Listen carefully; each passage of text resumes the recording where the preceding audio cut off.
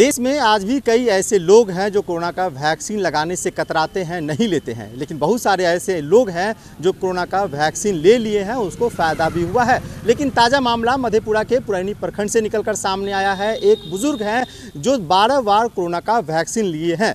ताज़ा मामला मधेपुरा के पुरैनी का है। नाम है ब्रह्मदेव मंडल। सेवा बात जो है, उनका जो वीडियो है, सोशल मीडिया पे वायरल हो रहा है। मधेपुरा सदर अस्पताल में है। जो यहाँ के सिविल सर्जन हैं, उनसे बात करेंगे और समझने की कोशिश करेंगे, क्या एक व्यक्ति बारह बार वैक्सीन ले सकता है? अगर लेता है तो क्या उसका साइड इफ़ेक्ट क्या होगा? आखिर उन्होंने बारह बार वैक्सीन लिया तो लिया कैसे? हम बात करेंगे सिविल सर्जन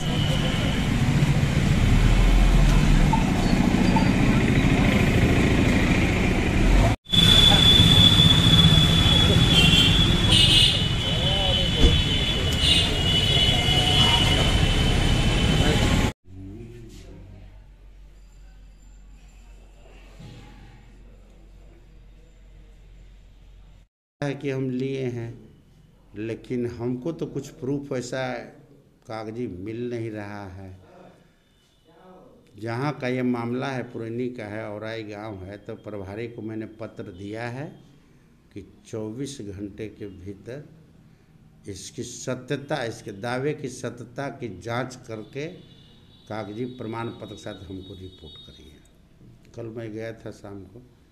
शाम को आज उनका 24 घंटा पूरा भी तो हम वेट कर रहे हैं तो इसके बाद कुछ और आगे बता पाएँगे।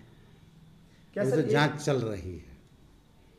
आप कह रहे हैं जाँच चल रही है 24 घंटा का इंतज़ार है। सर क्या एक व्यक्ति कई बार वैक्सीन ले सकता है क्या? इस क्या कहना है आपका? अब लेने के लिए देखिए हर जगह तो दूसरा आदमी बैठा है वैक्सीनेटर वो तो पहचान नहीं रहा है। आप मधेपुरा में ले लिए जाके फिर आप सिंहेश्वर में ले लिए तो सिंहेश्वर वाला तो आपको चाहिए वाला कोई थोड़े होगा कि आप लेके आए हैं। पहचान तो हो नहीं पाती है। तो इसकी संभावना है। कल आप खुद वहाँ गए हुए थे उस व्यक्ति से आपकी बात हुई। क्या बातचीत हुई? क्या आप उनसे कहें बात तो थोड़ा सा दूसरे ढंग से बतियाता है। कभी नरेंद्र मोदी का नाम लेता है कि उन्होंने अमृत भेजा है तो इसलिए मैं ले रहा हूँ। घुटना में दर्द था कमर में दर्द था भूख नहीं लगता था। मैं लिया हूँ तो मेरा सभी ठीक हो गया है उसके मन में भ्रम है। राजीव गांधी का विरोध कर रहा था तेजस्वी यादव का विरोध कर रहा था। तो हमको लगा भाई कहाँ से मामला है? राजीव गांधी या तेजस्वी यादव? तो लगा थोड़ा सा आदमी और एज भी है पैंसठ साल का वो आदमी है। और आप बात कहा कि उन्होंने अमृत भेजा है इसलिए मैं ले रहा हूँ। ये लोग विरोध करता है राजीव गांधी के विरोध करता है।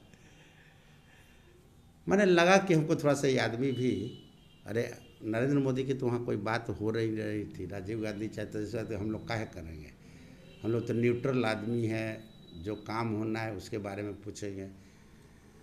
तो थोड़ा वेट करिए, देखिए आज क्या रिपोर्ट सब देता है। रिपोर्ट आने पर जो दोषी होगा उस पर कुछ कार्रवाई करेंगे हम लोग। दोषी तो चिन्हित करेंगे ना जी। सिविल सर्जन तो नहीं ना पुरैनी में रह रहा है पुरैनी में तो डॉक्टर है ना। प्रखंड स्वास्थ्य प्रबंधक है ना। वो बदल बदल के अगर कोई कहीं से लेगा दूसरे साइट बदल के चूँकि एक ही साइट पर तो पड़ नहीं रहा है। एक साइट पर तो पड़ेगा तो पहचान ही जाएगा कि लोकल आदमी है सब वैक्सीनेटर कि आप तो सुई लिए हैं दूसरा देवे नहीं करता। वो जगह जगह बदल के जा रहा है जहाँ पर नया फेस वैक्सीनेटर उसको मिल रहा है। अब चूक तो इसको कहाँ ही जाएगा। अगर मान ले कि बात सत्य होती है तो चूक तो ज़रूर है।